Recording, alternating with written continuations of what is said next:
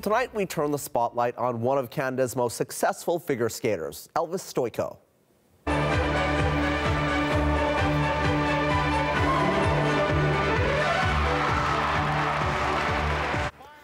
There he is, making history as the first person to land a quadruple double jump combination to a standing ovation. We looked back on those moments in our conversation, including the decisions that helped him break through. Elvis Stojko joins me now in studio. Thanks for being here. Thanks for having me. You know, I was watching an interview that you did uh, a while back, and, and I, was, I was surprised because you said that you, you actually were interested in being a race car driver when you were a kid yep. and not a figure skater. So tell me how you got into figure skating.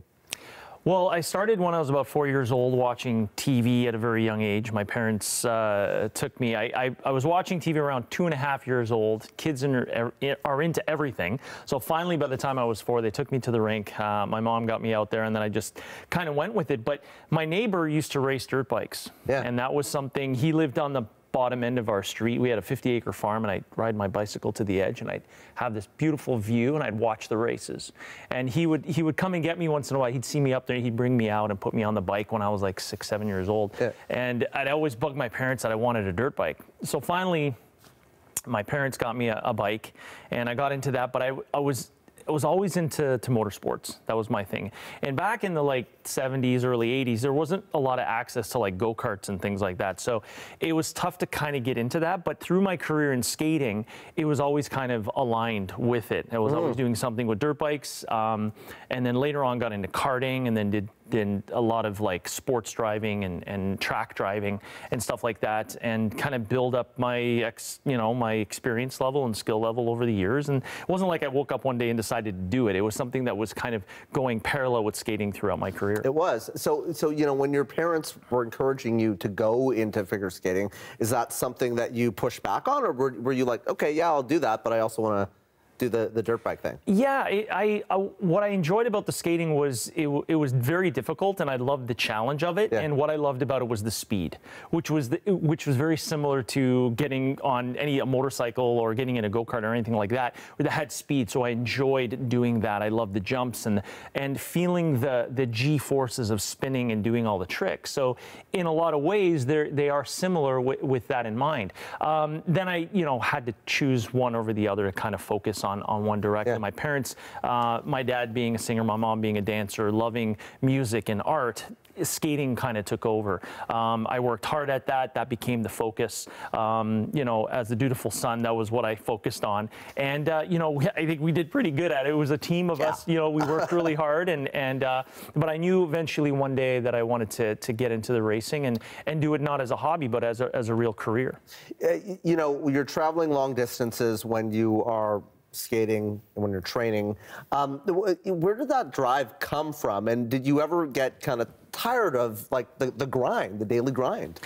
Absolutely. I mean, it's it's something of a. There's no, there's no quick way of doing it for success, as uh -huh. we uh-huh. all know. There's, it's the sacrifice. My parents, my mom got up in the morning, 3:30 every morning. I was on the ice at 5:30. I was there before school. I went to school. I ate. I, I did my homework. I changed in the car. It, it was all of the grind to get there. And the focus was on being the best I could be. And then eventually seeing, well, I could probably be the best in the world at this if I really, you know, wanted to do this. And my parents said to me, there was, there was a moment where my parents were like, you have a chance. Yeah. If you want to do this, it was around nine or 10 years old. And they said, if you want to do this, you can do it, but you got to give 100%. If you want to do it as a hobby, we'll, we'll be there for you, but we're going to give everything we got and let's let's work on this. And i said yeah let's do it. So there was a moment for your parents but was there a moment for you when you realized yeah you know i could i could be the best in the world yeah there's like there's you, you have that mindset you know when you first start you just enjoy the activity of uh-huh. doing and You discover things about yourself and the thing you're like, oh, I can get good at this or yeah. having trouble with this. You can get frustrated and I want to do, you see other people doing it easier than you. So you, you push yourself. And so there was a moment when I, when I started skating in Toronto and that was around nine or 10 years old. I was working with Mrs. Ellen Burka at the time, and people said I had talent and I had a lot of heart and, and working hard and, and the work ethic. And right around the age of about 13 to 14 is when I was like, I can I think I have a shot at this, like really hmm. to make make the Olympics one day. But there's always these times where you get to a point where like maybe I should quit. Like there there are moments that it, it gets so hard that you you have to you have to take a step back, reset, and then push through, or you walk away from it. And I and it, and it was something that I just I couldn't get I couldn't give up. I was not a quitter. And even with being different. I was always the black sheep in skating. I always had the, the macho way of doing it. I didn't have the balletic style. I brought in the martial arts. Uh, you know, I rode dirt bikes. I did other other things like that. Yeah. I had a different different personality. So, um, and I didn't do it on purpose. It's just who I was and who I am. Yeah. And eventually, when I found who I was as a skater, as an artist on the ice, then things really blossomed. That was like later on in my career when I was you know late teens, early 20s. Huh. And, and, and what was that like when you found kind of you know your identity on the ice? It was it was a big moment because it was a self self acceptance, and then from that point, you, you know, I started to see it around. I got accepted more. Um, and I started to bring in a different crowd than just the, the regular group of figure skating fans that will always be there. And then right. there was this other group of guys, like my dad was blue collar, like he, he, he had his landscaping company. And there'd be guys that were like welders and stuff. I, you know, I'd be working with my dad in the summer and they'd come by, hey, Elvis, we, we watch skating because of you, man. You like, we love what you're doing. And I'm like, these guys watch hockey and watch football. Now I'm bringing them over to figure skating. So they would never, they said, we wouldn't be caught watching figure skating, but we watch because of you. And, and that was kind of cool. It was different, you know, and I was glad I was I was part of that. You you made the Canadian national team in 1990 for the first time, and not only that, you unseated Kurt Browning. Uh, who uh, you're friends with now, but I understand that there there was like there, there was a professional rivalry yeah. going on there yeah, yeah. for a little bit. Tell me what that was like and uh, how the friendship developed. I mean, Kurt and I always had a, a, respect for each other. We always knew that we're only as good as our competition. And I wouldn't be the skater today if it wasn't for him and vice versa because yeah. we just pushed each other. And it was amazing to have the two top skaters in the world in one country. And that, that was great for Canada. It was great for skating. Um, and, you know, 1990, I, I, came onto the scene. I got the triple axel and, and I just came out in a blaze. I was just moving on up and, and uh, had outskated Kurt at Nationals. Um, he still won, but there was this controversy of me in style. I was very young at the time, uh-huh. very green. And uh, that's the, the rivalry started there. And, and then it was four years later when I actually won Nationals and, and defeated Kurt. And we went on to the World championships and or onto onto Olympics and and but when we competed outside of Canada, we competed as a team. And that's something that wasn't just, you know, head to head was great in, in our country, but when we went out there, we went against Kurt and Elvis against the world. And that was something that we always enjoyed doing.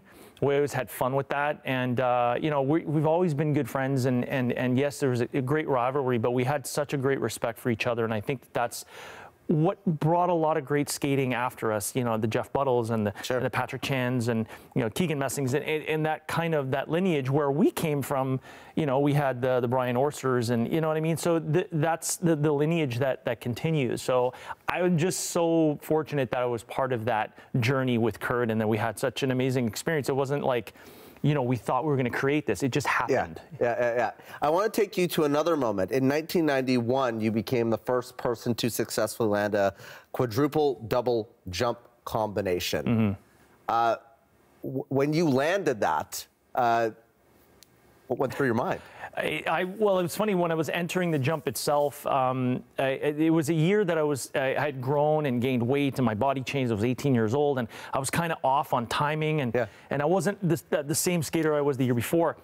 And I was landing the quad, you know, on and off, and and I was in the program in competition, and I'm setting up for the jump, and I could I totally felt it going in. I'm like, this feels like I'm going to do this. This feels really and before I could finish the thought, like I, it just happened, and I landed, did the double toe in the end, and I almost stopped for a second, realized what I did, and I continued with the program. And I was like, "Oh my God, I just landed a quad combo. This is crazy." Yeah. And it just it it, that, it launched me to that next level uh, at the world level, and and it just even to this day, I still remember the feeling it was there in Munich. It was it was so exciting. Let's talk about the Olympics and and you know what that was like. Do, do you uh, have that sense, a sense that, you know, you were talking about, you know, you and Kurt against the world. Did you always have that sense of national pride?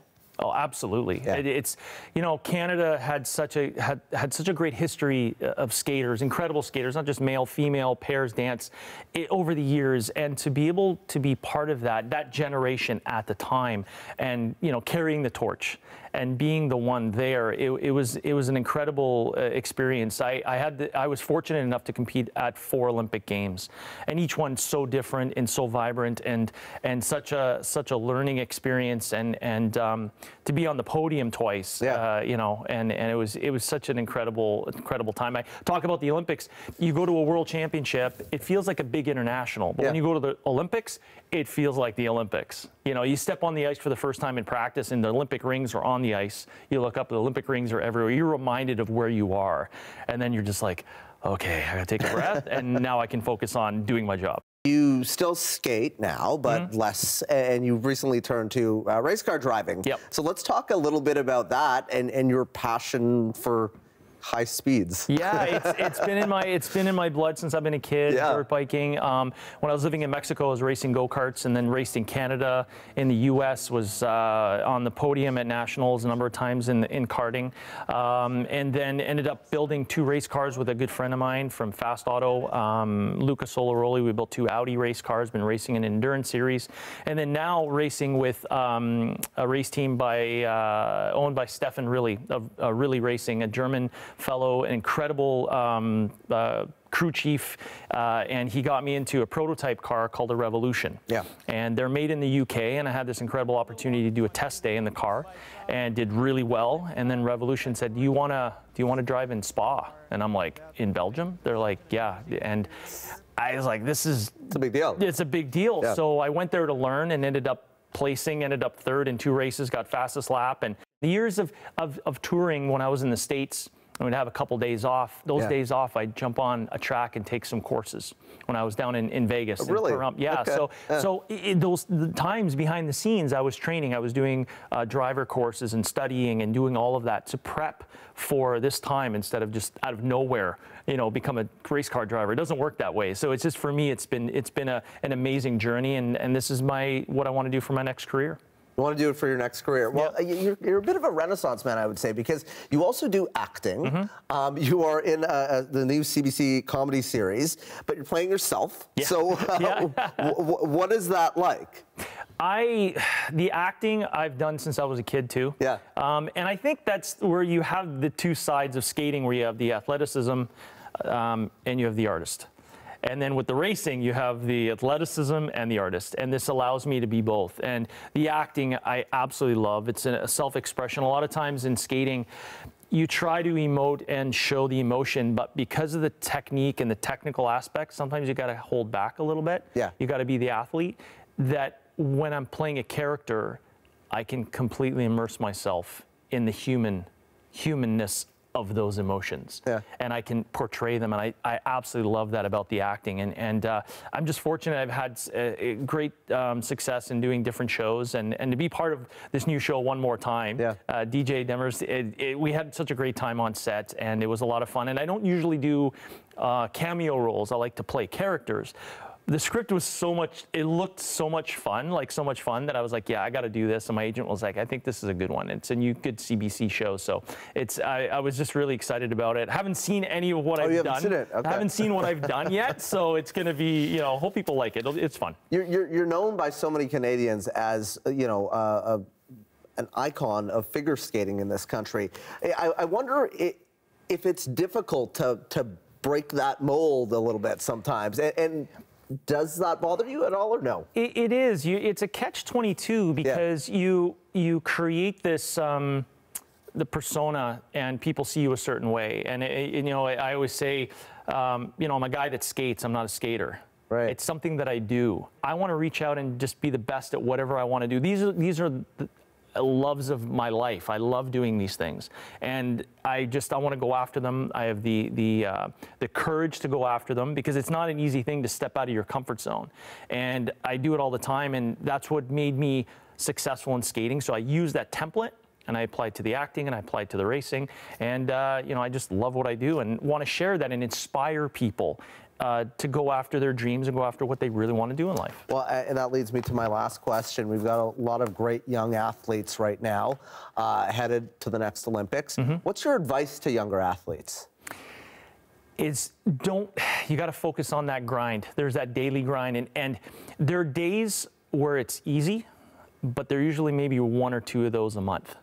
It's, it's, the, it's the other ones that are hard. And the days that you don't want to go into the rink or you don't want to go to the track or whatever, it's really hard to get there. You got to think about the goal. You got to, how badly do you want that, that thing?